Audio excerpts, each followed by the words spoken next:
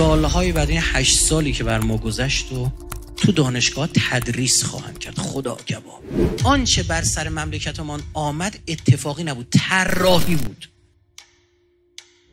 یعنی برنامه ریزی می‌کردی. فاتحه یه مملکت رو بخونی به این خوشگلی در نمیاد کسی که تمام تستا رو اشتباه می‌زنه اون جوابای درست رو می‌دونه. یعنی مدل رکود تورمی که ایشون به وجود آورد. خالی کردن ذخایر ارزیمون برای چوب بستنی چوب بیسبال و غذای سگ و گربه.